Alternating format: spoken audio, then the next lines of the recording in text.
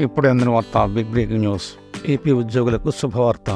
ఇక వయసుతో సంబంధం లేదు అనే అప్డేట్కు సంబంధించిన వివరాలు ఇక్కడ ఉన్నాయి వీడియో నచ్చితే తప్పకుండా సబ్స్క్రైబ్ చేసుకోండి. పది మందికి షేర్ చేయండి. తప్పనిసరిగా లైక్ చేయండి. ఏపీ ప్రభుత్వం ఉద్యోగులకు భారీగా ఉపయోగపడే ఒక మంచి నిర్ణయం తీసుకుంది. వారికి గతంలో ఎన్నడూ ఊహించని ఒక శుభవార్తను చెప్తూ కొత్తగా ఉత్తర్వులు జారీ చేసింది. చైల్డ్ కేర్ లీవ్కి సంబంధించి గతంలో ఉన్న వయో పరిమితులన్నీ తొలగిస్తూ ఏపీ ప్రభుత్వం ఉత్తర్వులు జారీ చేసింది.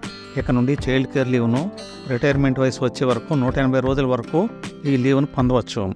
మైనర్ పిల్లల బాగోగులను చూసుకునేందుకు స్కూలు కాలేజీ పరీక్షలు ఇంకా ఇతర అనారోగ్య సమస్యలు తలెత్తినప్పుడు ఈ చైల్డ్ కేర్ లీవ్ను వాడుకునే అవకాశం ఉంది. ఇదే కేంద్ర ప్రభుత్వ ఉద్యోగుల విషయంలో ఏడు వందల ముప్పై రోజుల వరకు ఉంది.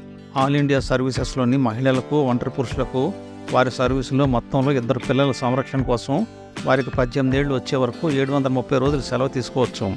ప్రస్తుతం ఏపీ ప్రభుత్వం ఇన్ని రోజులు సెలవును ఇవ్వకపోయినా నూట ఎనభై రోజుల సెలవును రిటైర్మెంట్ వయసు వచ్చే వరకు అంటే అరవై రెండు సంవత్సరాల వయసు వచ్చే వరకు పది విడతలుగా ఉపయోగించుకునే అవకాశాన్ని కల్పిస్తూ ప్రభుత్వం ఉత్తర్వులు జారీ చేసింది. మహిళా ఉద్యోగులు ఒంటరి పురుషులు అంటే భార్య చనిపోయినా లేదా విడాకులు తీసుకున్న పురుషులకు ఇది వర్తిస్తుంది. గతంలో రెండు వేల పదహారులో ఇచ్చిన జీవో నెంబర్ నూట ముప్పై రెండు ప్రకారం మహిళా ప్రభుత్వ ఉద్యోగులకు అరవై రోజుల పాటు చైల్డ్ కేర్ లీవ్ ఇద్దరు పిల్లలకు మాత్రమే ఇచ్చేవారు. వారికి పద్దెనిమిది ఏళ్ళు వచ్చే వరకు లేదా దివ్యాంగులైతే ఇరవై రెండు ఏళ్ళు వచ్చే వరకు ఉద్యోగులకు మూడు దఫాలుగా అరవై రోజుల పాటు చైల్డ్ కేర్ లీవ్ని ఇచ్చేవారు.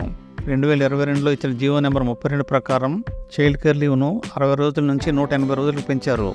మహిళా ఉద్యోగులకు తమ సర్వీస్లో ఎప్పుడైనా సరే ఈ సెలవును వాడుకోవచ్చు. అలాగే సింగిల్ చైల్డ్ ఉన్న పురుష ఉద్యోగుల కంటే భార్య లేని వారికి సెలవులు ఇచ్చేందుకు కూడా ప్రభుత్వం అంగీకరించింది. నూట ఎనభై రోజుల సెలవును పది దఫాలుగా వాడుకోవచ్చని ఉత్తర్వులు తెలియజేశారు. ఉద్యోగ సంఘాల అభ్యర్థన మేరకు మహిళా ఉద్యోగుల వయోపరిమితిని తొలగిస్తూ ప్రభుత్వం ఉత్తర్వులు జారీ చేసింది. ధన్యవాదాలు.